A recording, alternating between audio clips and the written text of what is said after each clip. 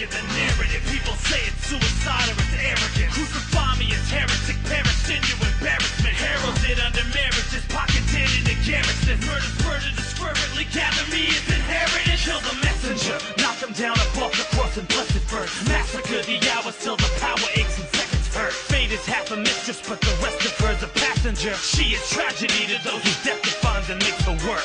I don't believe in time. Stick a knife into my spine. Watch the shadow bleed me dry, then take my eyes and leave me blind. Heaven hell is no surprise. I'm just here to scrutinize the euthanize. Despise the sacrifice, but never eulogize. I sworn to elegance, decadently in sentences. Maybe I'm just a veteran running out of his medicine. Maybe a definite epitaph would have been generous. For all I get to whisper your will is Connecticut. Pray for the day that the lies don't find you. Pray that the end isn't right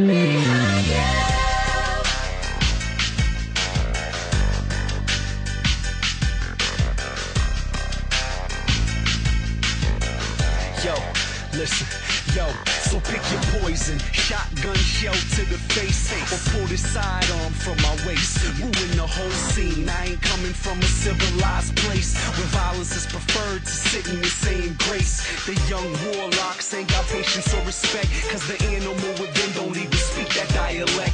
And all they know is war, so you better come correct or catch a bullet to the head just for dramatic effect. Is mean and only understand gunfire.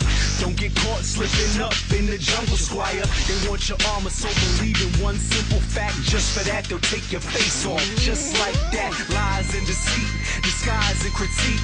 Be yours and P's and Q's with everybody you meet. And trust is a weakness on this side of the fleet, cause the fake showing love and leave you bleeding in the street, and that's real.